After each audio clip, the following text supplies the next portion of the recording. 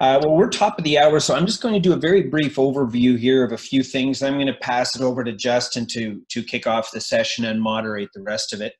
Um, I just want to, first of all, say thanks for all of you that are here uh, attending the session those of you that will be joining in and uh, viewing the recording later on. For some of you, this may be the first time you've attended one of the uh, Learning Analytics Learning Network events. Uh, this is a uh, came out of a project that uh, Justin and Ryan Baker uh, and I were involved with, which was an NSF grant that did not get funded, but we decided the idea of people networking and building literacy and capabilities around learning analytics was significant enough that we should do it regardless. Uh, after chatting with a colleague out of Australia, Shane Dawson, uh, we've had uh, Florence Gabriel join us, who I don't believe will be on the call because it's early morning for her. But uh, so we decided that we would proceed and create this community for individuals who want to stay up to top, uh, up to speed on the sort of the latest and the greatest activities in learning analytics. Some of these events are introductory level, so you'll find sort of a gentle introduction to the domain areas. Some of them are more involved and are more complex. Ideally, we want to create a space where people can meet asynchronously. So we have a Canvas site set up uh, at UTA where people can join in. And we have this obviously environment and regular events uh, happening here. We have a workshop happening at the Learning Analytics Conference in Germany in a few weeks, and the list goes on. So basically, this is a community for individuals who are interested in what's happening in learning analytics and what they can do to stay up to top on some of the latest trends. Uh, right now, we've had Justice, uh, we've got uh, Justin and Florence that are the primary leads on this project. So I've dropped the link into the main site, which will give you some information on what it's about, upcoming events, recordings from previous events. You can have a look at those when you have an opportunity. But without anything further, I just want to say thanks to, to Justin and Florence, of course, for leading this, and particularly today for, for Pete, uh, Henry, and Elizabeth for uh, giving us uh, their insights into this topic. Justin, to you. All right this. So, um, as George mentioned, we have a um, something in the UTA uh, catalog, which is open for anybody inside and outside to be a part of. And we're going to host um, all of our resources in this uh, in this Canvas shell. So if you go to um, it's the UTA uh, catalog at structure.com. Um, you can go and enroll in the course. Um, we are still working on one little bug. then this, um, if you're external to UTA, you can enroll in it, but as you see, and you'll see in like the top right corner, it'll say login, and unfortunately, we're still trying to work through an issue where it only is trying to get through employees, but that should be worked. Uh, we should have workaround for that really, really soon. And then in the actual um, shell itself, um, we uh, invite you if you do just choose to enroll and be a part of this. Um, we do have things like um, like a survey, like to get to know um, who's wanting to be a part of it. Um, we are um, also looking to create a a network of in, in, the larger network in the Dallas Fort Worth area. so we'd like to be able to see what people need and what kind of events that we can do future, in the future here at UTA. Um, and then um, if you could think of other people that might be involved, definitely please share the word. We would um, love to be able to get a lot more people here, both in the K-12 and higher ed space and potentially even industry. Yes. For the record, are y'all, is College of Science doing the new master's degree? Or can you speak on that or is that not part of this? It's not necessarily part of this right Oh, now, but yes, we are looking to have a new master's of science and learning. Okay. Mhm. And um, so we just you know invite you to be part of this, and then we have um, resources here. So if you ever need to come back and access any of these um, after the event, or if you know somebody that would like to join up um, and you look at these things um, asynchronously, um, we'll have them all um, here. Uh, we'll have everything here for every event uh, going forward. So obviously for today, we have these including our different activities, as well as even a facilitator's guide. So if you would like to even run something on your own somewhere, we'll have those kind of resources for you so then you can go and practice through the, the different activities. Today's a very introductory ses uh, session. Um, some of these will be a little bit more advanced topics though in the future. As George mentioned, um, we do have um, some events coming up. Um, we're working with uh, Georgetown uh, University right now. They're doing an unconference session that's going to be geared towards graduate students and some of the issues they're um, having with uh, learning analytics. And then, as George mentioned, we also have the LAK workshop that's coming up. That'll be in Frankfurt. Um, I'm working with Ryan Baker. Baker, if you were here, you mentioned which Ryan was online. Uh, Ryan Baker uh, from University of Pennsylvania. He'll be doing one, and we're looking to also do another session here uh, at the beginning of August. So without further ado, I don't want to take too much more time on this. Let's get to the actual really good stuff here. So I want to introduce, uh, we have uh, Dr. Pete Smith, and we have Henry Anderson, and Elizabeth Powers, who uh, is online, um, and they've put together a great uh, talk for us, and then we're also going to work through an activity together when we're done. And they have uh, curated some really great resources for you on the topics of natural language understandings. Thank you all. Yeah, so, and Elizabeth is joining us online, so thank you, Elizabeth, as well. Um, we mentioned it's going to be an introductory session. We tried to make this a very gentle introductory session uh, to NLP. And so we're going to share some slides uh, for about uh, 25 minutes, 30 minutes or so. And then we'll do a short handout where you get to touch some language data and think about its value and think about how you might use it in your research settings. And as, as Justin said, and as I just said as well, we're really going to start from the very beginning.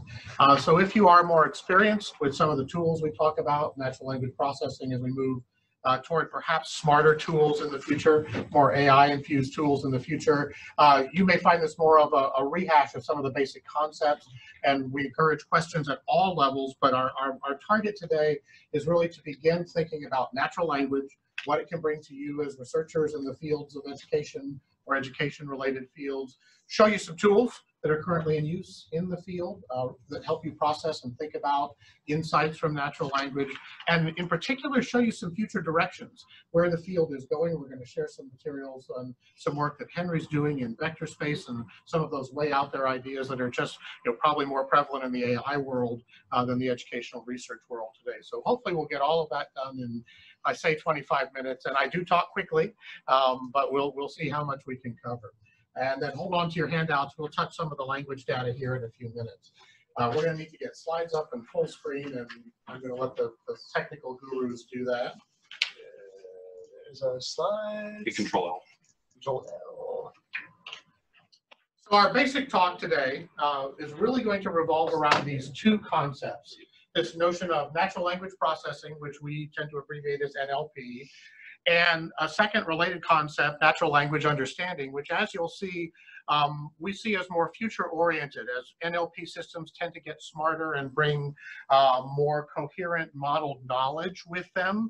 Uh, we think that's a very different piece and, and, that we're growing into, I think, a new generation of tools to come and a new generation of analyses to come uh, that really are smarter, more AI infused, and a little bit different than some of the tools that uh, that we are working with today. So we're going to give you some examples. We're going to give you some definitions. That's the, the gentle introduction part. I'll let you think about where natural language processing is happening in your lives today. And I guarantee it's happening. It's happening on your phones. It's happening on your desktops. It's happening when you call call centers. Uh, those are all good examples of NLP in process. And we're also going to share some of the debates that are happening in the AI world broadly. If you've been following Yann LeCun or Geoff Hinton or Gary Marcus and some of the really contentious debates that are out there about the future of AI, uh, we're part of that. In fact, a lot of what they're arguing with and about is language and the ability of computers to understand language in ways that are more than just counting of words, you know, that are really thinking about meaning and understanding as a goal moving forward in some of the work we do. If you have studied any of the, the hype around big data, uh, you know that obviously we're, we're literally drowning in data. But one of the factors that's not oftentimes noted is that the vast majority of the growth in the, in the world around us is what we would call unstructured data. And I'm going to give you some examples here. One, uh, natural language is one example of unstructured data, as are images, as are video, as are a wide variety of other types of digital materials that don't look like structured data. And I like to think of these as the doctor's notes of data. Uh, when you go to the doctor's office and the doctor sits in front of his or her laptop, there are certain preform boxes, certain preform data elements that he or she may gather from you or use uh, in the visit with you, right? Your name, your date of birth, your date of admittance, have you had your flu shot, those sorts of things, and on the date of your flu shot. But in that record is also a really nice example of unstructured data, the notes that that physician takes about you um, that contain a whole set of insights and, and information that may or may not be readily available or readily apparent from the structured part of the record, right? It's a little hard to see here, but you know, you get notes such as patient came in complaining of chest pain, shortness of breath, lingering headaches, smokes two packs a day, family history of heart disease, has been experiencing these systems for, or these symptoms for 12 hours. And you can begin to get a, a, hint, certainly, that there's a lot of valuable information here uh, that doesn't look like the structured side of the equation. And ideally, uh, as they are treating you, as other physicians see your record or work with your record, or when you visit that doctor six months down the road, you're hoping that all of the insight that's available in the unstructured data uh, is available to that doctor or to the folks who, who might treat you. And, and we're going to come at the words today. We're not really going to be thinking too much about images or video or audio or any of the other formats. We're really thinking about words where students might speak, where educators might speak, where you might find language data in your settings. And what, what do we do with that? How do we look at that data? How do we process that data? How do we find insight? Just intuitively, you're thinking, boy, there's some really key facts here. As I'm treating this patient, there's a lot of information here that may not necessarily be in the checklist of questions uh, that generated the more structured data.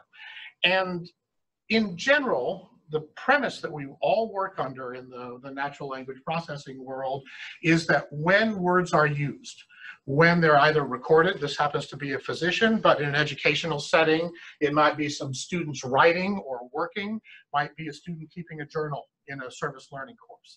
It might be students writing or learners writing in a discussion board in an online course. Uh, it might be transcript of a classroom session or a transcript of a tutoring session. Wherever words are used and are recorded and can be analyzed, uh, our premise is those words give us insight that we cannot gain from traditional measures.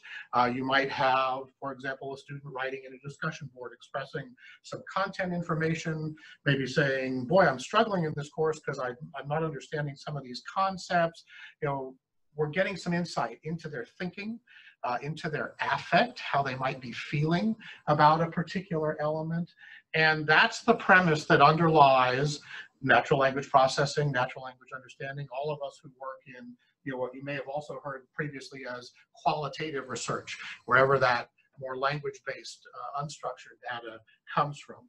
Uh, Stretchco, um, who's part of our network and has been part of uh, uh, all of our networks for some years, put together this beautiful slide, giving you, and, and all of this is available for download in, uh, in the online course. Uh, where else might you find language data in your daily work as educators, right? I mentioned discussion boards and online courses. I mentioned journals for service learners. Where else in, in your work here at UTA are you seeing language data from students as part of courses or work or other things that you're doing? We'd like to throw out a couple of examples. Teams back channel chat. Chat, Teams back channel, discussions between, say, teacher and student or student and student. Good language Student feedback surveys have a lot of language in them. And in fact, the new tool we have on campus actually does some thematic analysis. If you've taught a course and students have written their comments and you've reviewed those comments, one of the things they give you is some pretty basic word clouds and other sort of uh, thematic uh, things. Here's the words that many of your students are saying about you as a teacher. Uh, here are the themes that many of the students are thinking about. Where else might you see language data? Reflections. Reflections, right? Uh, reflective writing is a huge way to ask students to put words on paper, put them into assignments, reflect on topics. We know it has great value as depth of thinking and critical thinking. Uh, that language is also potentially quite valuable to us, uh, once again, as sort of an insight to what those students are thinking and, and how they're approaching what they're doing. And uh, we opened up with George's voice here uh, coming out of the ceiling. Um, this was the slide that George uses in uh, the initial course in the learning analytics sequence to say, you know, where do we find the opportunity to think about learning analytics in a variety of settings as educators, whether it's part of the Teaching Act, uh, evaluation and feedback, the content, that many of our students consume uh, is linguistic data. Um, the syllabuses that we pass out are linguistic data. The language students write about in their LinkedIn profiles after they graduate, those are language data. And so as you begin to think, there are a wide variety of places you can reach in, see data about, from, or describing students or teachers or learners. Any of you ever uh, do a survey with your students in general or a part of a survey process? Oftentimes you ask both structured answer questions as well as questions that allow unstructured responses. And so as you think about what do I do with all those words, um, these are places where all of us begin to think about um, how language data fits into learning analytics. This quote uh, from uh, a scholar in our learning analytics community, I think really begins to put some of this in perspective. Uh, one of the quick and dirty ways, I wouldn't say it's necessarily a full definition of the power of unstructured data, is that frequently it gives us context. We have an immense amount of information in our structured data systems. But the minute a learner or a teacher or a survey respondent, someone writing a reflection or someone writing a review of teaching begins to put words on a page, you start to see the stories and the narratives. You start to see the words of the student providing context.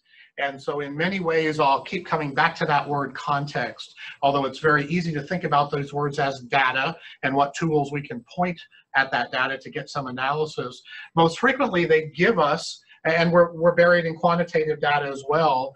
Oftentimes, though, we will think about these quantitative sources as providing not only insight via processing of those words, but really something that you know gives us the context for all of our numerical data. We're doing all sorts of things automatically, algorithmically. Um, many of you on your phones, for example, uh, have ASR, some form of speech recognition. Uh, you may have it in Siri, you may have it in a variety of apps. Uh, you may use it to text when you're driving and you shouldn't be texting, and you just simply want to speak some words in, have them transcribed and sent to uh, sent to somebody. Um, and as you begin to look at all of the tasks that are possible, um, you're seeing the results of natural language processing nearly every day. Every time you open up your screen and go to Outlook, uh, the email that's flowing into your account is being categorized. Text categorization is a task that's frequently uh, cited under natural language processing. What is Outlook categorizing? It's looking for junk, looking for spam. Uh, it's making some decisions for you automatically. In some cases, you can shape those decisions, uh, but in other cases, their language models are looking at the millions and millions of incoming emails to our campus every day and making some decisions. Uh, are they spam? Do they contain links that may be of some danger to the readers, etc.? So these are a wide variety of things that we're doing already uh, algorithmically and I'll, I'll, show you a list here in just a second, please. Uh, so my question is to process all the information you are giving is, when you say natural language processing, yeah. I think I have in my mind, but I want to hear it from you. What is unnatural?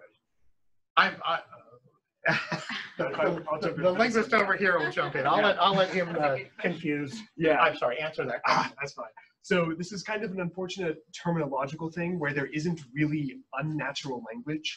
In this case, natural language is the same way that linguists tend to use it, just meaning human language. So natural language is what we're doing right now. I'm having a conversation, Pete's lecturing, you're asking questions. If we were going to say, uh, what would be an example of unnatural language? I, I, what I was thinking, maybe I, so I was thinking why we're calling it natural language. I was thinking when I give the questions to my students, right? The scientific questions. Right. And then they answer it in a scientific terms. So that's it. That's not natural because they have been taught to give answers short in those scientific terms. So I was thinking maybe that's that's more learned rather than natural. It's more so, like standard language. Yes. Standard so that's what I was thinking, but I wanted to make sure if my thinking is in the right direction. So that would still absolutely fall under an example of natural language. Okay. It would just be, the term we would use is it's very domain specific. Okay. So it's still natural language. It's still using, you know, English, presumably in this case, um, or whatever other natural language the courses are being conducted in. but it's just the language of, in this case, uh, which, which specific field of science? And let's say physics or Okay, physics. astronomy. right? So yeah, using the language of physics, which is going to be a little bit different from, say, the language of chemistry or the language of computer science or the language of learning analytics, natural language processing. So it's still natural language. It's just we can kind of put scare quotes around the word dialect, but we're still going to call it natural because it's still being generated by a human being using sort of standard grammatical, lexical, morphological structures. So structures. there is nothing unnatural. no, there's nothing unnatural. So this natural word is even needed. This is We'll come back to that. Yeah. Let's- let's- let's- I I bet we'll circle back to that. probably. But the point you've hit is a really good one. Are- Is all writing created equal? Is all language created equal?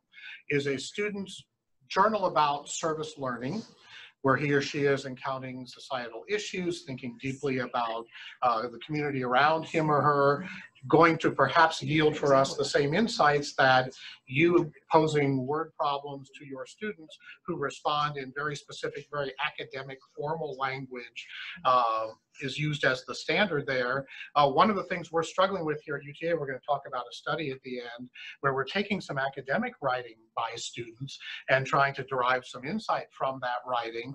And we're finding it really hard to pull, if you will, the personality of students out of writing that looks very standard and very academic. Um, and we fully suspect that uh, reflection or a service learning journal or an interview, say, where somebody is asking questions about someone's learning history or their time at UTA may bring us a little bit more insight into, into some of what the students are uh, talking about, experiencing, learning. Um, so although I throw a whole bunch of examples out, you know, the point you hit is there's some very formal academic registers uh, where we work that may or may not bring to us a lot of insight about, say, the learner who wrote that particular language, which is not to say we don't have some language from those learners that you know, might give us that insight. You guys are seeing NLP all the time. Every time you type at your screen, your grammar checkers, your word checkers, your spell checkers, uh, every time you pick up email, uh, if any of you are Siri or Alexa or Google Assistant users, you're familiar with these tools. Um, we've talked about this past decade as being the, the decade of NLP. Huge amounts of research are taking place. Uh, folks both in computer science as well as on the linguistic side are extremely active and many of these tools have really uh, come to fore or really gotten good at what they do in the past 10 to 12 to 15 years. One of the biggest problems in NLP is staying up with the research. Uh, there's active discussions about how do you follow the 100, 150 new articles a day on arXiv to, to stay up with this sort of uh, sort of work. Um, the social media that you write and that all of us on the planet are writing are being processed and analyzed every second of every day. Um, the reviews you write for foods or movies, the contact forms you fill out with vendors, the support tickets that get opened when you call a help desk, all of these are your words or the words of fellow human beings that are being recorded and, and used and thought about with that same premise. If I give some words uh, to say AT&T, I call up their call center and have an interaction with them. Uh, it's one of the most valuable things AT&T has uh, about me as a customer. It knows what I care about. I have an AT&T phone on my on my belt. It's throwing out about a thousand data points an hour. So AT&T is not short of data about me. But the minute I call the call center and they get a hundred of my words, they know what kind of customer I am. Am I a satisfied customer? Am I an angry customer? Am I calling because of my bill or because of the hardware that I have that isn't working? Um, have I called before with another sort of problem? And in fact, the AT&T modelers who every day are thinking about you as a customer, Verizon is doing this as well, um, actually want some words from you. They'd love that you comment on their products in social media or that you call their 1-800 number and say some words to them and interact with someone at their call center. By the way, unless you're dealing with a really small business uh, that's dealing with really antiquated technology, every time you call one of those lines, every word you say is being recorded, it's being transcribed, it's being collated, it's being analyzed. They're looking for larger patterns across hundreds of thousands or millions of calls, and they're using that to guess what? Better work with you, better sell you further products and services. Uh, every time you tweet something, Um, models of you that are out there statistically are being changed. In fact, many of the models out there for customer service and customer satisfaction look for individuals who posted at least two critical social media posts. Something critical or negative garners the attention of the social media monitors out there. If you want to try this, let's say you're an AT&T customer and you think you're paying a little bit too much every month on your AT&T bill, go out and type on Twitter just a, two, uh, maybe not broadly positive, maybe not broadly negative tweets, and then watch what happens. Within several weeks, you're going to have different sorts of communications from AT&T. You might get some offers you've never had before. Uh, you might get someone who calls you and says, let's work together to try and lower your bill. Um, they are monitoring. They're also monitoring what people are saying about Verizon. Why are they doing that? Because those Verizon customers, they would love that they churn and become AT&T customers. Um, so the words you say in any setting, on the phone, in social media, are being used, are being looked at, are being analyzed uh, in various ways. And by the same token, we can do the same thing as learning analytics researchers. There are two tools we're going to share some knowledge about today that are in widespread use. How do I deal with language data? Um, how do I take this mass of student reflections or service learning journals or writings that students have given me in the course of my online course and do something with them? Get, uh, get some organization, get some insight. Uh, the first tool that we're going to mention today is Liwc, L-I-W-C um, that is one of the most widely used and cited in the research literature. I think there's some Liwc users in the room, if I'm not mistaken. I, I know Peggy and others have written using Liwc. Um, this piece of software actually has its base at UT Austin. It comes out of the psycholinguistics tradition, out of uh, Jamie Pennebaker's lab. It is unfortunately no longer freely accessible. It's not a terribly expensive piece of software. You can buy it online. There used to be a free version of it that you could go to online and put sample texts into it. Uh, we believe that's behind a, a paywall now, unfortunately. Um, but it's certainly, if you're going to work with natural language processing or natural language as part of your research, something that we, we highly recommend. The WC stands for word count. Um, it's a very lexically based uh, program, but it allows you to take chunks of text, that entry that a student wrote in a service learning journal, uh, plug it in, and get some um, categorizations and counts and calculations about what is contained in that text. Is it uh, primarily social text, right? How many social words happen? I, this is just an example of many, many different categories that come off of a Liwc analysis. Is its emotive state primarily positive or primarily negative? Does it seem to be more academic? Do you seem to see more cognitive sort of processes happening? Um, how authentic is it as a piece of writing? How narrative is it as a piece of writing? Once again, you may be looking for certain patterns, certain ideas, uh, certain ways of thinking or ways that students might be growing using a tool like this. And this is certainly one that allows you to take that messy, unstructured text input, move it through the system, and get some output from which you might be able to glean some insight as a researcher. Uh, probably the best known article um, was actually led by Professor Pennebaker in 2014. He took all of the, the college admissions essays uh, for UT Austin in a given year, right? You apply to UT Austin, you have to write an essay still. This is one of those schools where you still write the essay. And because he works at UT Austin, actually he doesn't identify Austin in the article, uh, I, I, don't think I've given away any great secret, um, he began to look at the language that was used by successful applicants to Austin versus the language that was used by those who were less successful, did not gain entrance to Austin, and really found that this academic sort of language that Neela was talking about, when they saw that in the essays, we tend to privilege that sort of information, especially in college admission sorts of processes. That was a quick and easy way for them to categorize this huge mass of data interestingly enough, and there are several talks by Dr. Pennebaker out and available on YouTube if you have not seen him speak. Um, one of his points is that we all concentrate on quote unquote the content words, right? Uh, the nouns and verbs that tend to make the, the, the, key portions of text or bring uh, larger chunks of meanings to text. Frequently, it's how you use your prepositions or how you use your articles uh, that mark the type of text or writing or language expression that you're making.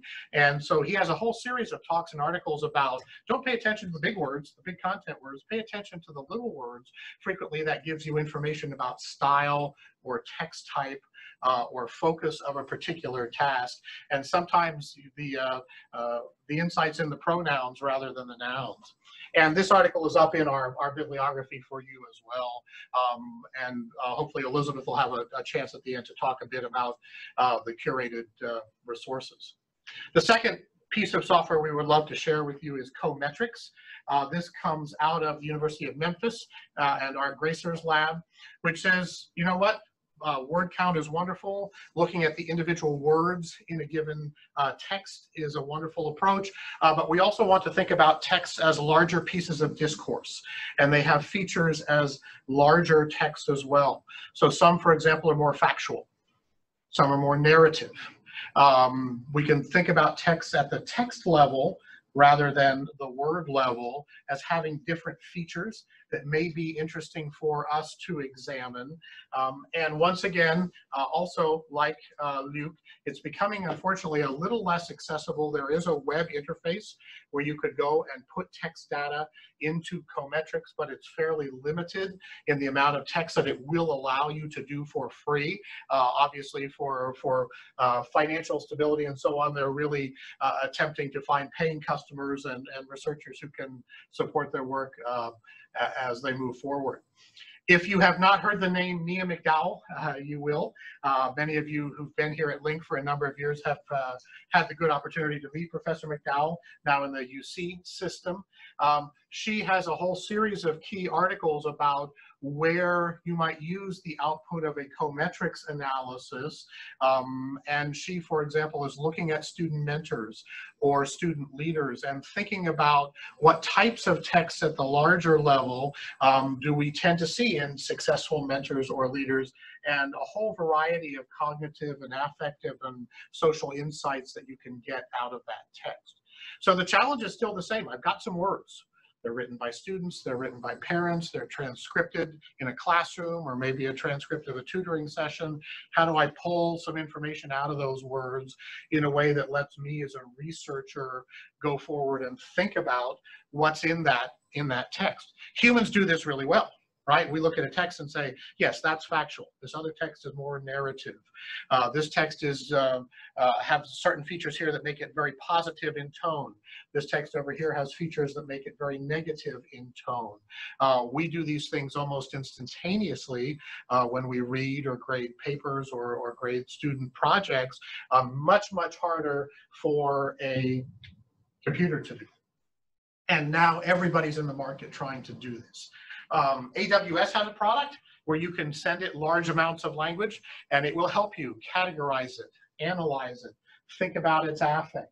Um, a wide variety of things that are out there. Google, which we're going to show you in a second here, is another tool that has a wide uh, suite, Google Cloud, of natural language tools. You may have heard of OpenAI, Allen AI.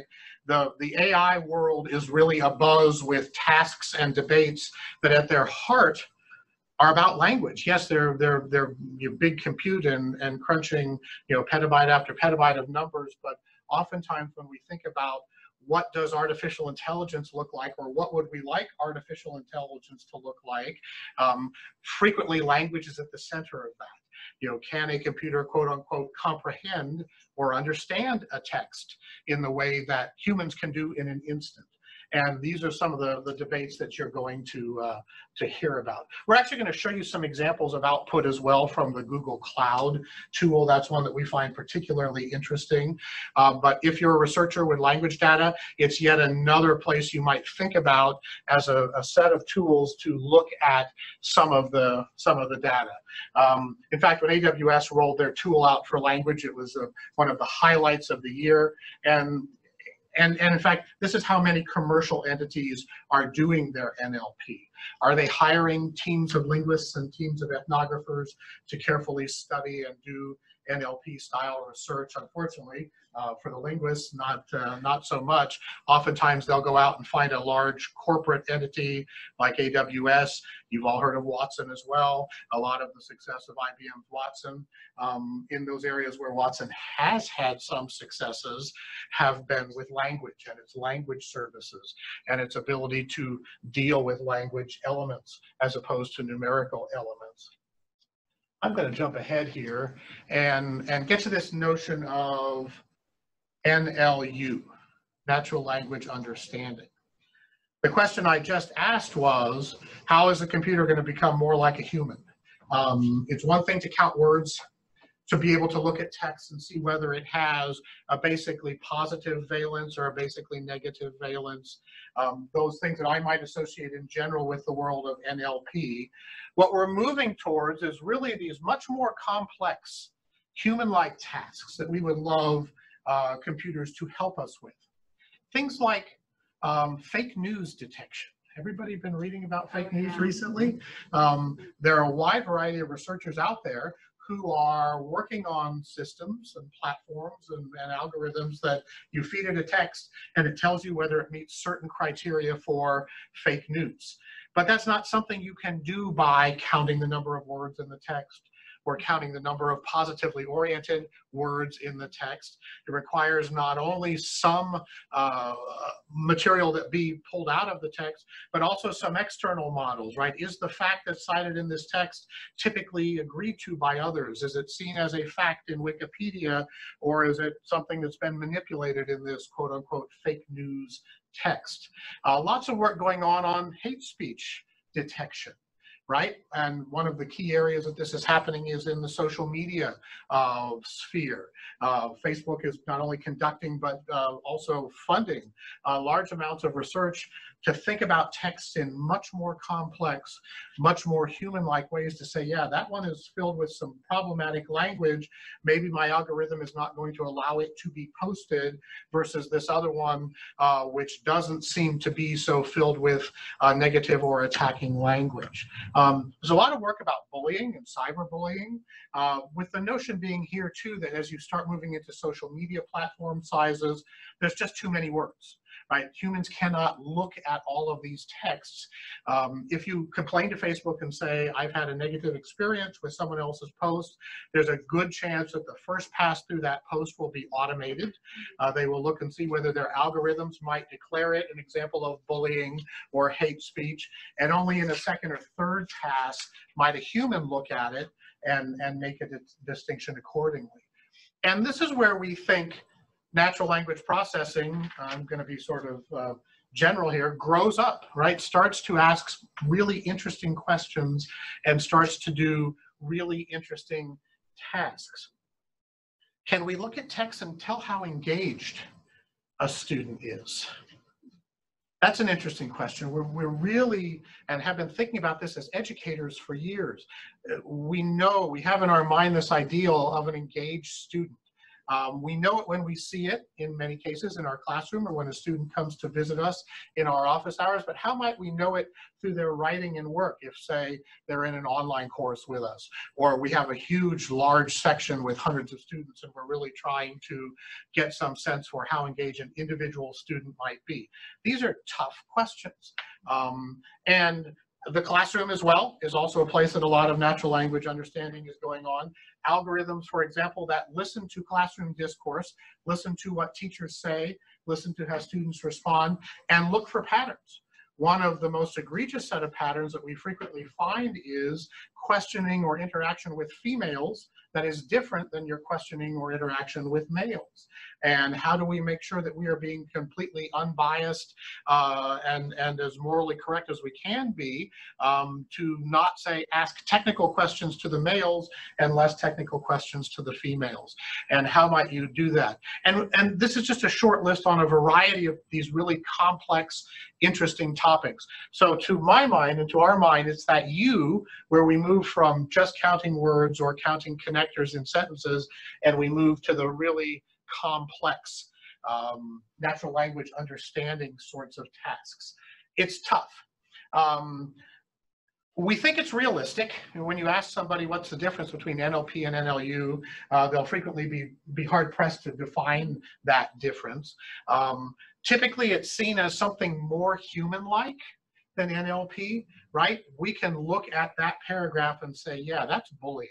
There's something going on where one individual is expressing language and using it to attack another, or that's hate speech. Um, but once again, training the models to do those complex tasks uh, is much more complex. We're really thinking about the word knowledge. And we're trying, I think, and the AI debates, which I'll share just a couple references to in a second, are really based around this notion of can we work in a very empirical way, throw trillions and trillions of words, build lots of models, um, and really think about language just based on the data? Or do we have to, in some way, bring in organized knowledge about a setting or a situation, or say the way one defines hate speech or bullying? And how do we combine these two schools of thought? Um, so part of what we think is happening in NLU is we're going to need to think about more organized forms of knowledge and how those are going to be brought into the models we build into the future. It may not be an example of we need more data, we need more data, we need more data, which is what you hear in a lot of AI settings, but maybe we need more frameworks and more ontologies and more ways to allow these algorithms to think uh, symbolically in addition to empirically. Um, this is a it's, what you do instantaneously as a human is really quite remarkable. The ability to listen to bring perception to a task to look at a, a, visual field to pick up a text to draw certain information and certain inferences from a text to bring all your historical and cultural knowledge to bear in your comprehension of that text. That's a really phenomenal act when you think about it. Um, but it's also an act that's not in any way fully understood uh, by the neurolinguists or the cognitive scientists. There's still basic things we don't understand about what's happening uh, in cognition during a lot of these. Um, but for example, your ability to pick up a text, read it, and summarize it. Right? Text is two pages long, but you need to summarize it in two or three sentences. Um, most adult humans do that quite well. Um, it's one of the hardest tasks for a machine to do because as I said, you bring a whole variety of uh, elements of perception and elements of processing and knowledge and experience together um, to do that. Question answering is another test that we frequently give to these artificial systems to determine whether, quote unquote, it's comprehending or knowing or showing understanding. And so what was one of the first things that Watson did uh, when it burst onto the stage, was it 2011, I think it was, goes on Jeopardy and shows that it can answer questions or answer in the form of a question uh, just as well as humans can. Um, Watson was actually a primarily uh, symbolic-based system. It was pretty early on in the natural processing of uh, the past decade. And about 80% of Jeopardy questions are answerable by the titles alone in Wikipedia entries. So in fact, it was using a knowledge base that was working off of a very early version of Wikipedia. And one of the things that the Jeopardy, uh, uh, the, the, the, workers at, at, Watson figured out was you don't even have to read all X trillion words. All you need are the headings and subheadings and able to answer most Jeopardy questions.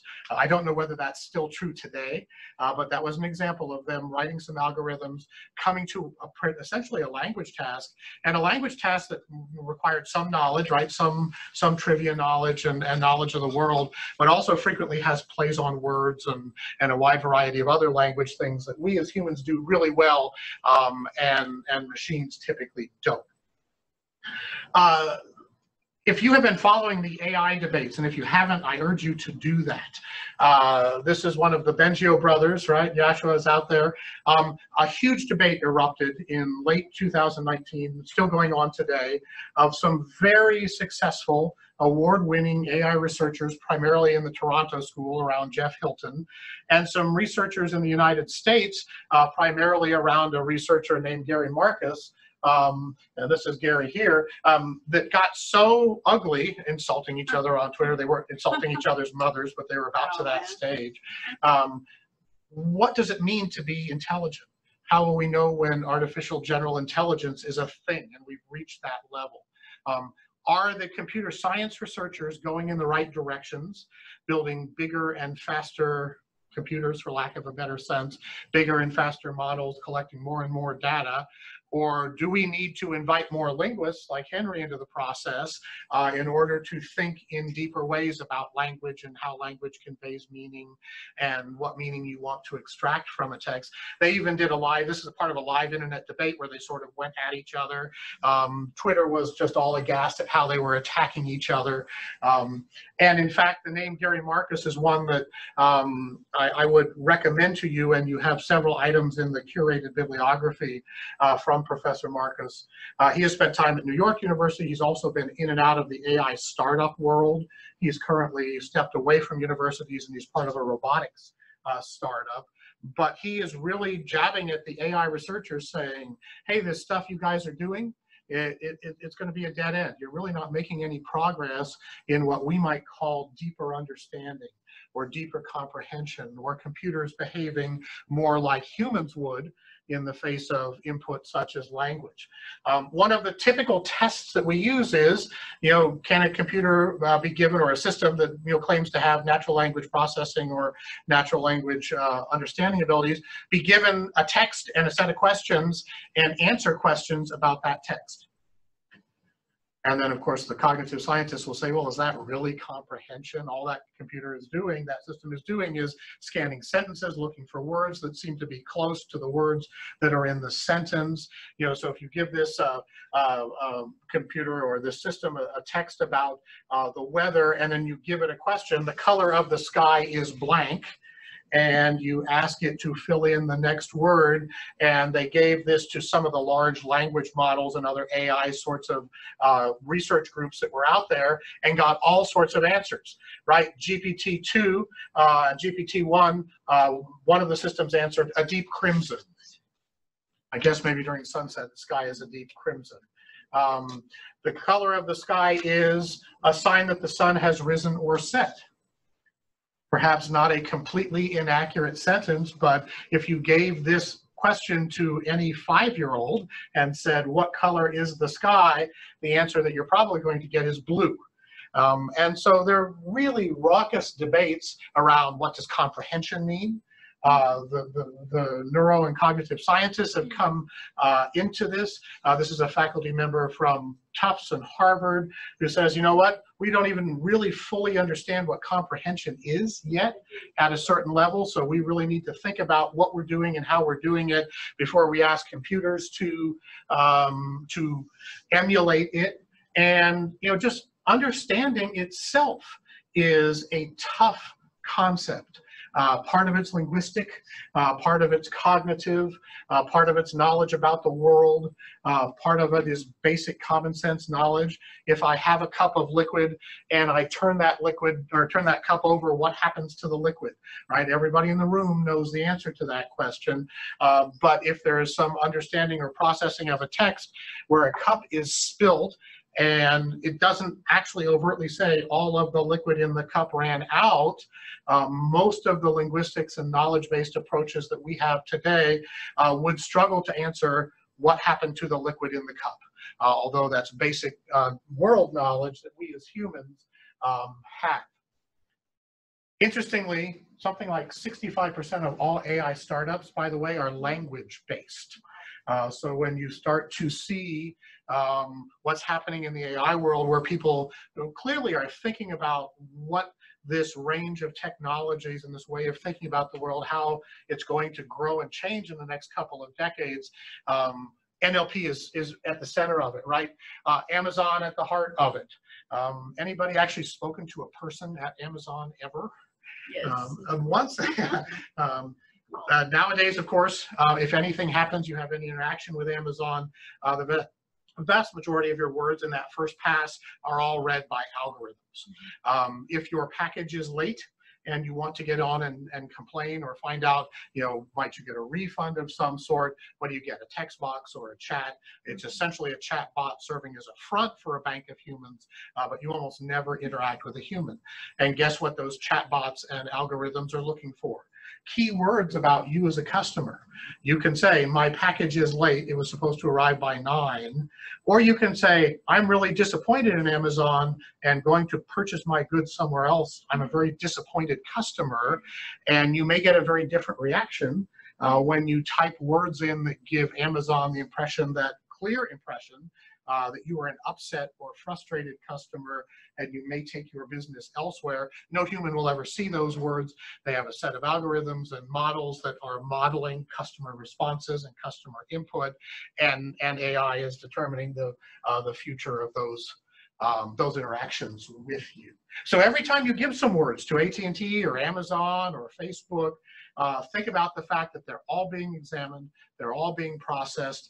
Uh, your words are being valued as an insight to who you are and how you're thinking about a particular task. And lastly, before we uh, take just a minute or two break and go to our hands-on, we have a QEP here on campus about teamwork. We have been thinking over the past several months about how we could bring NLP, or more particularly NLU, to this task. But teamwork is one of those big, complex, difficult to define, hard to operationalize topics um, that involve a whole bunch of uh, key uh, steps, right? You work together in a team to set mutual goals and plans. You share responsibilities. You work together in ways that are respectful. You encourage trust among others. Well, you could look at a post or a discussion or a chat and say, those two students are really working well together. They seem to be supporting each other and trusting each other. You as a human could see that in a heartbeat. Um, very, very hard for a computer to score. Um, and so we're thinking about some of these harder, big, complex topics um, that we may be able to detect Thousands of students at UTA every semester going forward are going to be writing hundreds of thousands of millions of words about teamwork. No human can read it all. It's, it's, it's oftentimes difficult for you, even in your own course, uh, to read everything that students write, every single word. One of the things that we're thinking about is algorithms and other ideas that attack that big concept of teamwork or things such as trust or uh, working together in shared ways. So more on that in July when we talk. Uh, we're actually using some of these new approaches and new ideas uh, to think about new ways that give us more insight into text uh, rather than uh, not. I am way over time. Uh, so what I'm going to do is take a breath and take a drink of the liquid I haven't yet spilled. Um, maybe we should take about a two minute break or so, and then we're going to let you touch some language data. We do have uh, cookies and drinks and Why everybody and coffee in the back if you want to get some. And in a moment, if you would make sure, please, that you have this handout. Um, we're gonna we're gonna spend some time uh, thinking about language data itself here. I got a couple more slides, we can, we can get back to that. Shall we uh, look at some student language, some learner language? I think everybody has a handout. I'm going to be quiet for about 90 seconds. What I'd like to ask you to do is read through five samples of language, five uh, segments of language that were provided by the learners um, of essentially secondary school age after a short course on leadership. The content area was leadership. And then they were asked to answer the question, how have you shown leadership or become a leader? I'm going to be quiet. I'd like you to read each of the five, and I'm going to ask you some questions about these five. We're going to make some judgments about these five and, and think about how they might be analyzed, how we might uh, learn from these samples of text.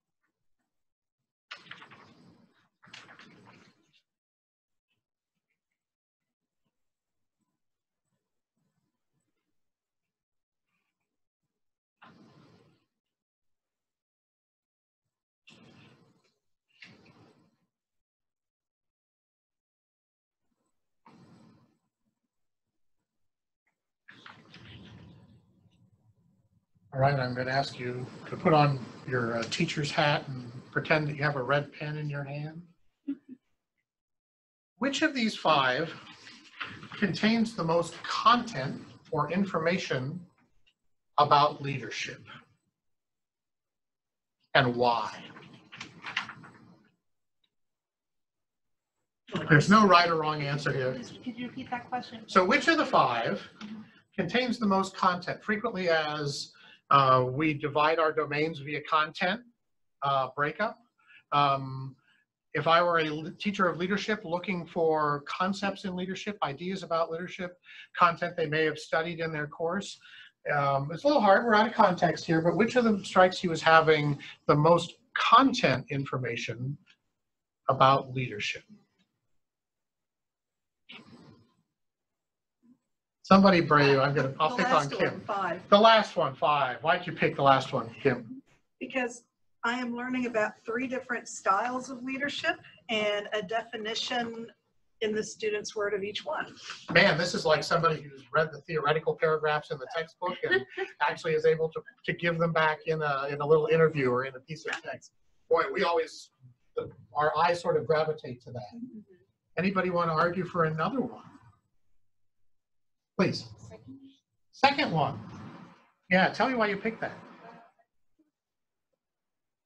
relate to what is being taught and uh, he reflects on how, uh, what he's learned from the talk, his personal experience. Personal That experiences. shows that he was engaged in the talk. So not only theory, but application, right? Frequently also something that we look for as educators. We can take the theoretical framework and tie it to our experience. Anybody drawn to another one, please? Yeah, I also agree with that. Uh, I choose the second one, number two, Okay, because the theme overall seems like it is collaborative approach.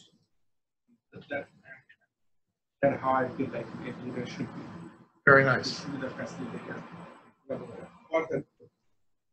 very nice. The authoritative person to be his teaching everything. For, for the activities. Very nice.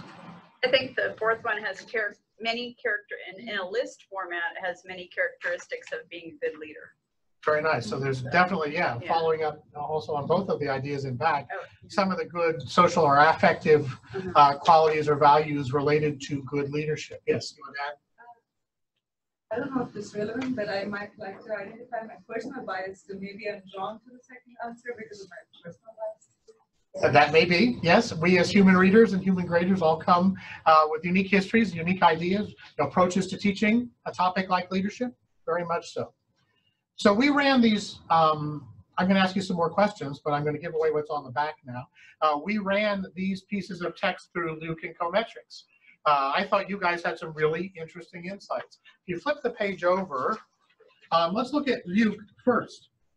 Um, As we looked upon, especially and this is an interesting group. Very seldom do I get folks who look at text too. I love it. Um, if you look at the social words and the scoring of text number two in LIWC up here, you see that far and away, um, it is, along with number three, I think, which was that the one, Peggy, you were looking at, um, really begins to think about the social nature and social values around leadership. So LIWC would have given us some information as to what text number two may bring. Um, there was also an entry that's given to us by LIWC on cognitive processes. Where do we tend to see something that might be analytic? And in fact, if you look down in the summary variables under analytic, the one that um, LIWC scores as the most analytical is number four. And, But- and I've seen that with LIWC before, what it chooses to be analytical is sometimes because of the fewer words, but I, I think there's something in that analytical variable of LIWC that sometimes gets caught up. So in fact, if you looked at certainly just the style on the page, oftentimes your eye is drawn to number five because it's just the longest right? Seems to have really high style. There's a theoretical organization and framework to it. There's lots of use of good vocabulary in there, right? Democratic leadership, uh, autocratic sorts of words, right? Uh, number four looks a little more informal with all those dot, dot, dots. in it, right? Your eye doesn't necessarily immediately tag that one as being of the highest register and perhaps thus not of the highest analytical value. Um, so what does that tell us? Does that tell us that LIWC uh, gives us some insight into a variety of elements of text? Yeah. Um, does it always necessarily correlate with uh, human reads or human readers looking at similar texts? Uh, no, nor does any really algorithm or system uh, that tends to be brought together with both humans and uh, the, the computational approaches. Look at, go back to the front page now. If I asked you which sample is the best organized or logical, frequently we look for organized, coherent, logical thought. Sometimes we call that critical thinking, whatever critical thinking is. Um, which of the five texts would you argue is the most organized and coherent? No peeking on the back because you can guess where we're going next. Peggy. Oh, I thought number three, uh, it kind of told a narrative. Number three is, Yeah. is by far and away the most narrative, right? Yeah. Mr. T had a talk with me after our first class. Here's a quote, try, here's what the, the teacher told, or the coach told this learner. Try and use something to your advantage.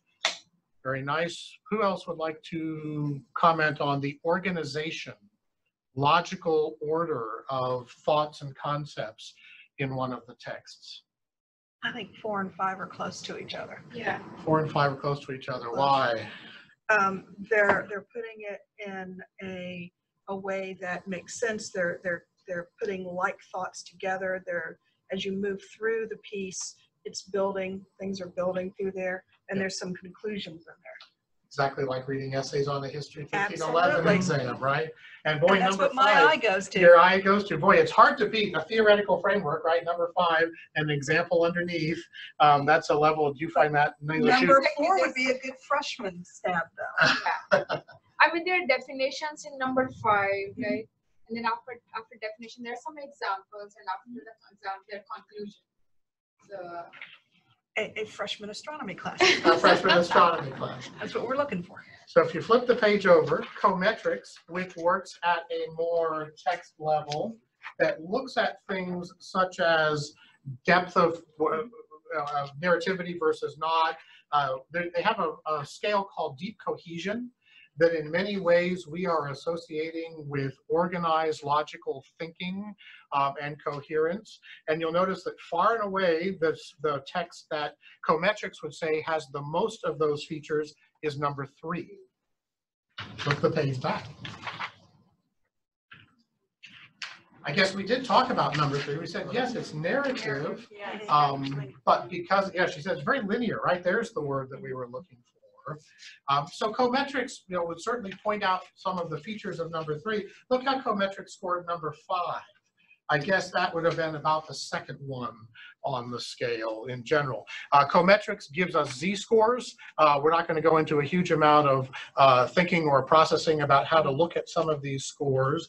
Um, but clearly, uh, the ones that, for example, come across as the most narrative are one and three.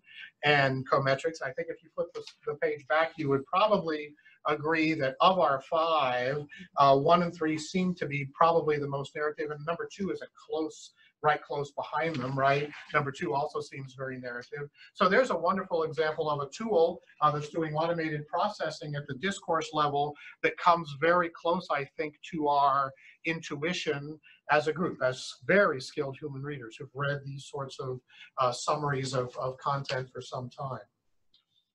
And it's a, when, when you do the essays like Neil and I would have that we'd want to look for, it's actually a combination of narrativity, but also the deep and referential cohesions. Very nice. Yeah, very nice. You need to have that histogram so you can see how it looks. Now I'm going to ask you a question specific, I think, to all of us as educational researchers, learning analytics researchers. Which paragraph demonstrated the most student learning, insight, or growth? Growth, I would say number two, because a conclusion has been reached at that point, where they've understood it's not about bossing around and that it's all about recruiting volunteers is more of what leadership ends up being in, in conclusion. And, and my eye goes immediately to number two as well. Sometimes these are really well signposted, right? Well, I've been here, I have learned, right? There's just a verb. Here is what I learned, colon. And, and the person literally speaks that out, yes, other text, which shows the most student learning, development, or growth. Well, number three, uh, they talk about if they didn't understand what the, the teacher had said and then the instructor said it, then after a couple of weeks, they understood it and were able to. Very nice. And it's not fully signposted, right? Is there actually a verb of learning in there somewhere? Um, actually, in the middle, right down near the bottom, I reflected back on it and actually came to a conclusion. So that would have caught a human reader's eye. Yeah, perfect. Um, anybody want to argue for any of the others? You begin to see the more complex the questions, uh, the deeper the analysis, the more that you bring world knowledge, experience, uh, knowledge of reading texts such as this to see student growth um, that we simply cannot um, emulate yet um, in any of the systems that we have shown you. Uh, just for completeness sake, we gave you the output of what Google Language uh, would have told you about uh, one of these texts. I think this is text three. Um, it does not work at any of the levels, not at the psycholinguistic level that LIWC works at, not at the coherence or discourse level that Coh-Metrix works at. Google Natural Language is really talking about the entities that are in each of the texts, the sentiment. If I ask you which of these texts is the most positive as a human reader, could you give me some information about that? My eye goes to four. Yeah, why'd you pick four? Seeking increase, good. Honesty, those are traits. Yeah, which you can do intuitively in, in tenths of a second. Very nice. Anybody want to argue for, or I could have asked that question, what is the most negative? And really, I didn't, we didn't pick any negative ones. Um, anybody else want to argue for the positive nature of any other text? I would just say the word advantage, number three, I mean, like those code, like kind of coding words, advantage, um, good leader, good leader, um, understood, those kind of positive, I would say that's more positive. And if you look on the sentiment scoring by the Google tool, uh, advantage is one of those words it looked at. I would agree with you. I think that carries a very positive valence, um, a, a, real promise in this particular text. Although you'll notice that the uh, the score magnitude and the scoring of advantage was was pretty weak in Google uh, Cloud. Once again, I think we as human readers can really move in ways and make intuitive sorts of readings of these texts this we could do in, you know, why would we use a, a, a computer-based system or tool?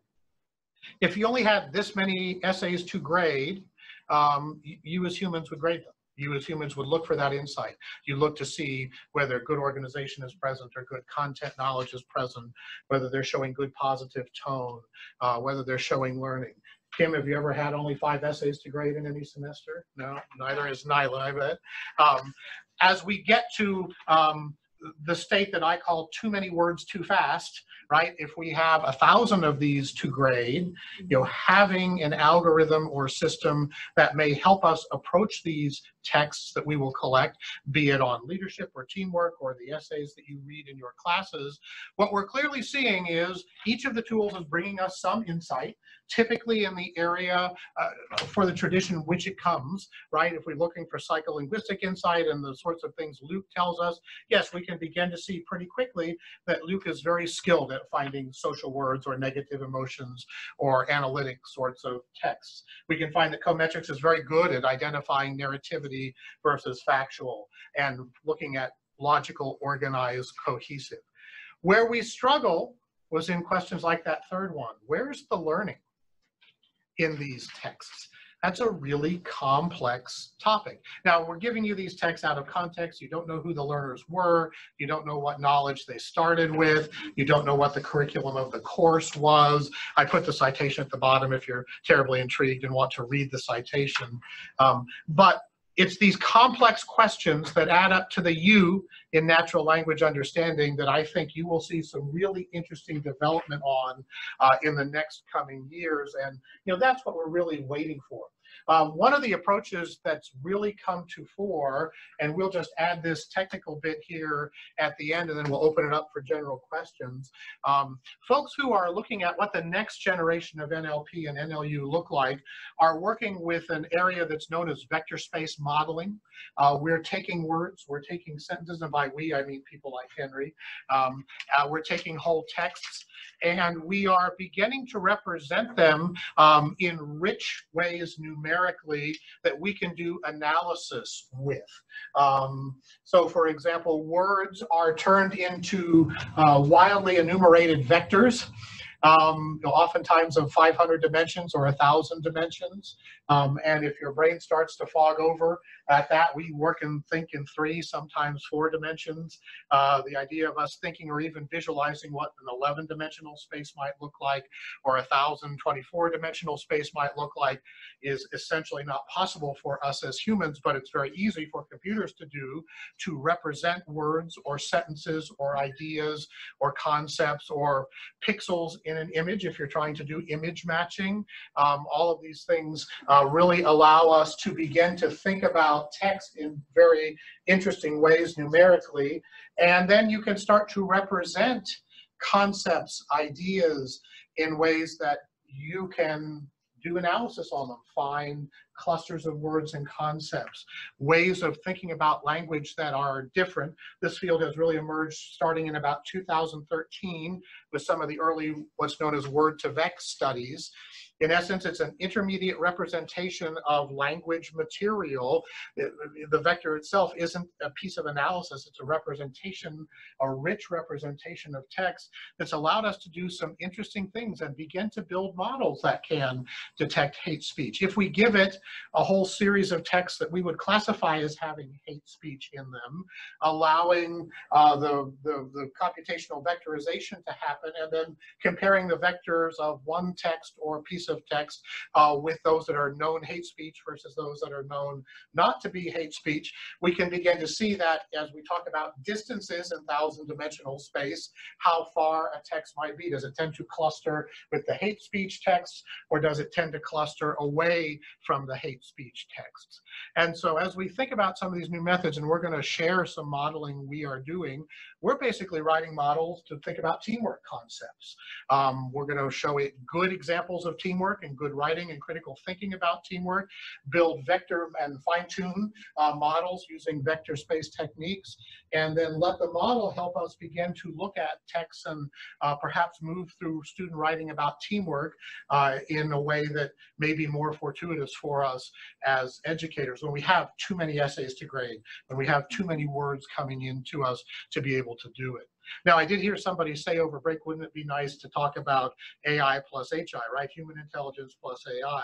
There's a lot of work going on in that world as well. How, first of all, how do we bring human expertise in some organized way into computational methods?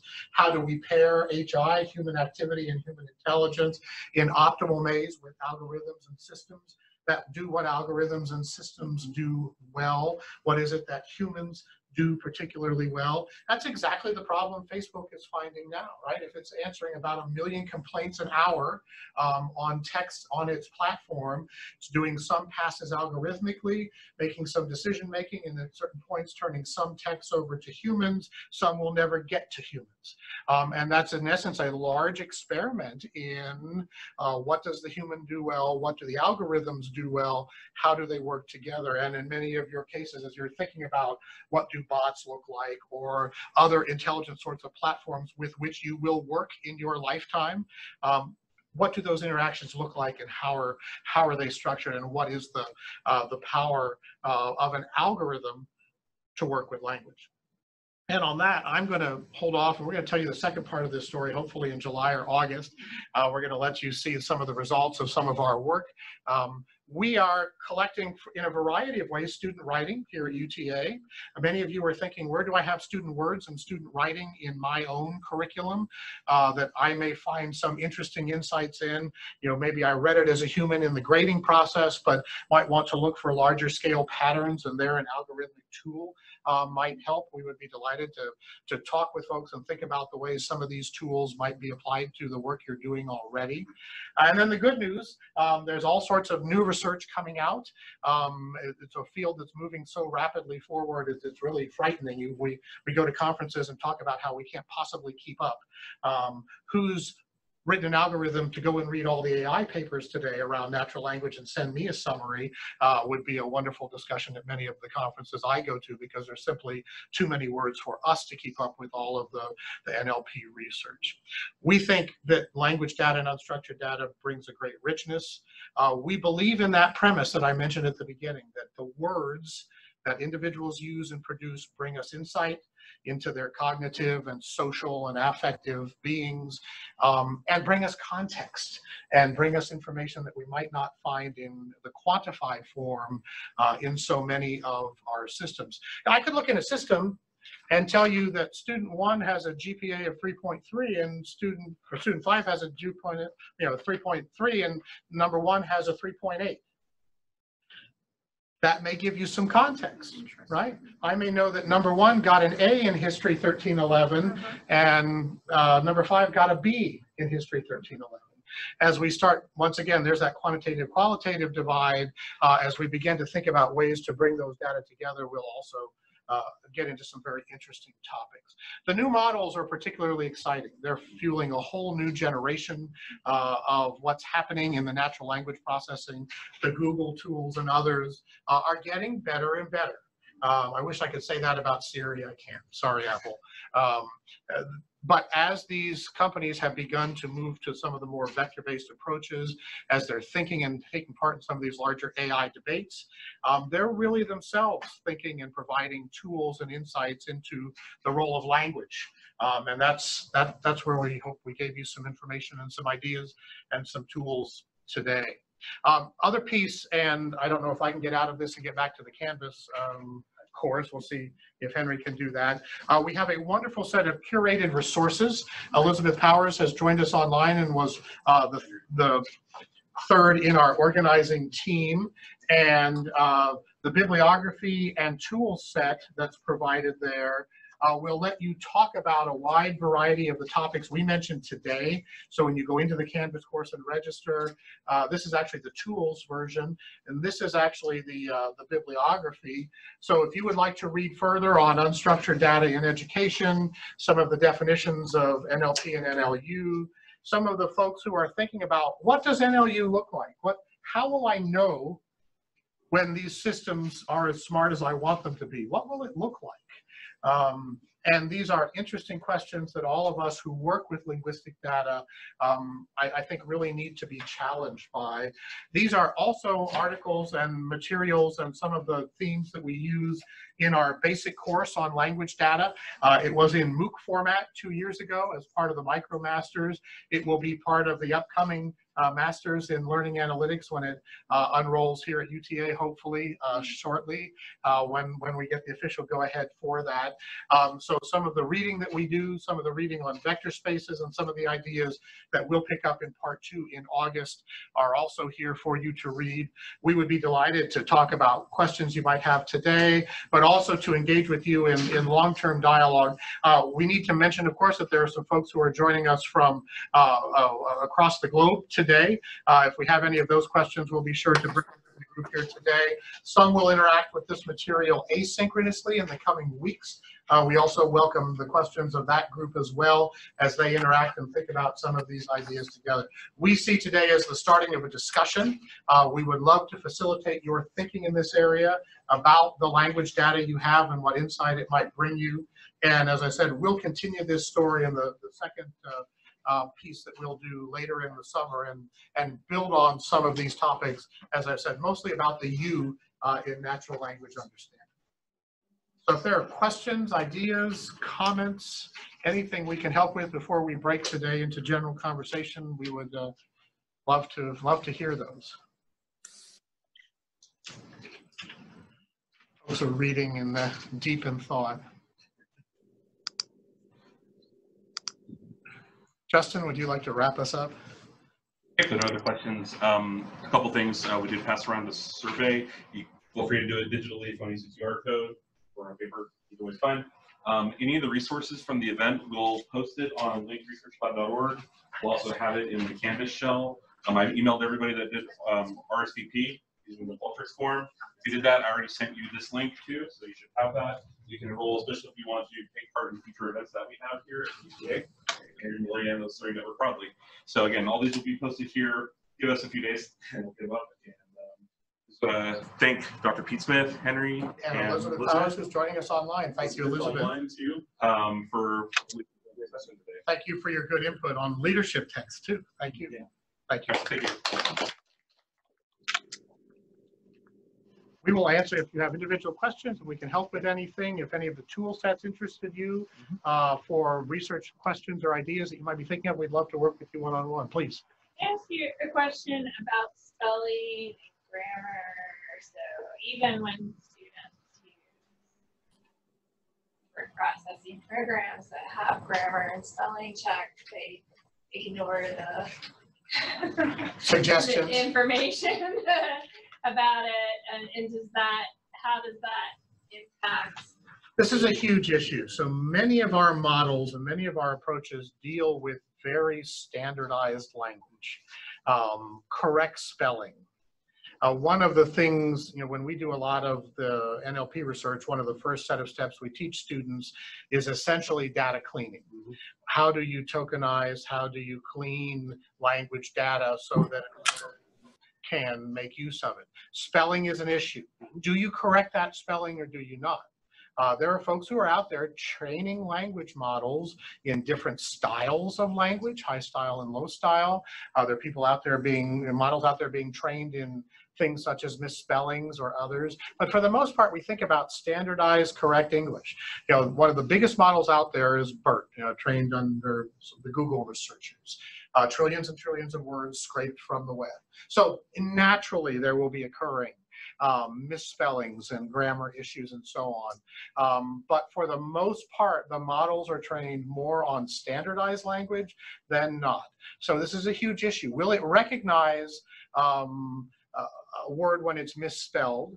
Um, from a student that we would instantly know what that student he or she is writing about, but the model may struggle. Um, and that's a that's a huge issue. What do you do with that misspelling? Do you correct it so it can be appropriately processed, or do you leave it um, in its original form? I don't have an answer for that. a big part of the reasoning on how to answer that question Pete just posed is really going to be based on what the tool you're using is. Tools like LIWC and Coh-Metrix, like he mentioned, really do expect and are built around this notion of, kind of standard English to intentionally use the scare quotes on that. But if you're taking some of these models like you mentioned BERT, or if you've trained your own model on a large set of representative text, you may not have to worry about those misspellings or those kind of non-standard elements. Something that I as a linguist would ask is, does this misspelling or does this perhaps unusual word order, does that encode some meaning that I need to be aware of? You're going to kind of miss out on that if that's not in any of the reference text that we use to train the model you're working with. But if that does show up in the corpus that was used to build your models, yeah, you could probably leave it in there. It might have valuable, useful information that can be extracted and processed. So we've worked recently with a data set of customer language. Um, and Very non-standard. very non-standard. These are things people say to customer service, typically when they're unhappy, Often on Twitter. often on Twitter. Um, what do you do with emojis? Yeah. right? Someone's written you an email and, and put some sort of smiley face with a tear coming out of one eye but not the other eye, right? What do you do with that? Does it convey emotive information? You bet it does. Oh, yeah. And now there are dictionaries and models that are beginning to help us interpret those in an algorithmic sense. What do you do with bad words? Uh, boy, customer service language. I, I'm glad I don't ever work as a customer service rep in retail. Um, support profanity. I heaven hate you. Um, what do you do with a with a sentence like that? Um, Google will let you process it, Yeah. And it will tell you that that word that begins with F has a high negative valence. Um, but, you know, those are the sorts of things where humans bring a much more subtle approach to some of these questions. Uh, we were working with algorithms, and in fact, we were trying to help with this in multiple languages. Uh, one of the areas where a lot of language work has happened is machine translation. So this wasn't necessarily customers speaking only in English. Uh, we were actually working across eight different languages, right? Do you know how to be mad or swear um, or to be conciliatory to a customer service agent in a, in a second language? That's a tough thing. Um, and as more and more of these international corporations now have hundreds of millions, if not billions of customers across multiple language sets, everything we've said today with examples in English and a lot of you know, really straightforward, mostly standard English sorts of settings are happening every day across the languages and cultures of the planet. Uh, we'll probably say a little bit more about that in our in our August uh, talk as well. So the all of the complexity of world language and culture can come into play. Um, and customer language. Boy, uh, when you're a mad customer, you're a mad customer. Yeah. How, how do you how do you prep that language for analysis? Think about the language data that you have. Uh, nearly all of you do have uh, in your various settings. The, the slides that were taken from the introductory MOOC and what will later be the introductory course in, in learning analytics, be it survey or student writing, be it discussion board. Um, uh, the Watson tool um, that many folks are familiar with is widely used in industry to look at employees' emails. So as you work in industry and industrial settings, frequently your company will take all of the email that you have sent in the past year and run it through Watson, and Watson will spit out a scorecard for you. Um, do you build trust among the people you write with? Do you show high levels of politeness versus not? Uh, are you able to work in the same way with people across gender or across ethnicity? Um, what sorts of vocabulary do you use and not use? Are you a team player? Um, whether you believe the models that Watson uses or not, um, many in industry are using tools like that to look at email um, in the corporate setting.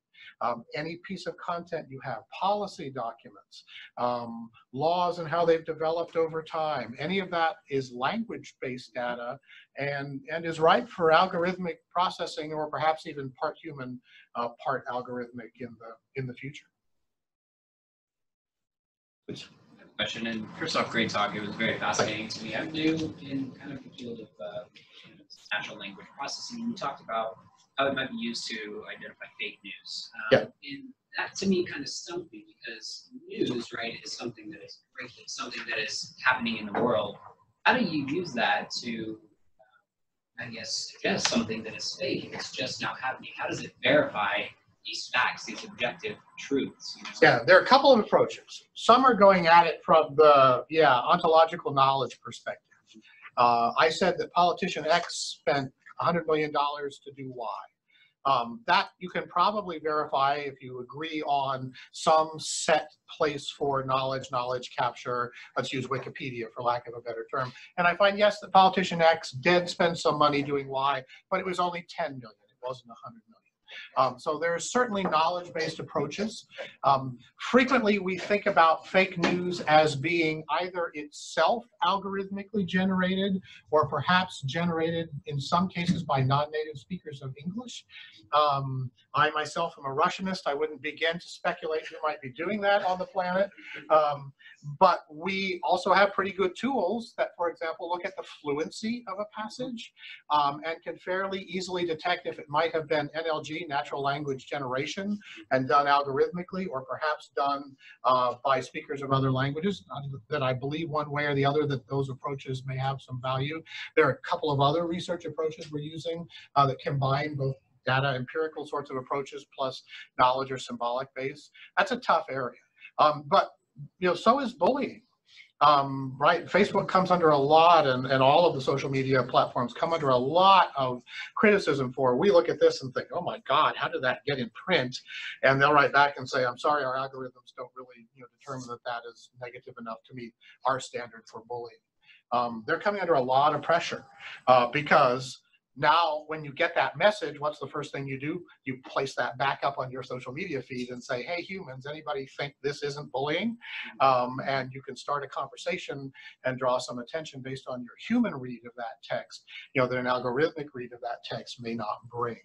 Uh, by the same token, if you cannot monitor all of the communications in a given platform, say you're leading a MOOC that has 10,000 participants in it, um, you may value those tools, right? This is the too many words too fast um, case scenario that might alert you to language that looks to be overtly negative.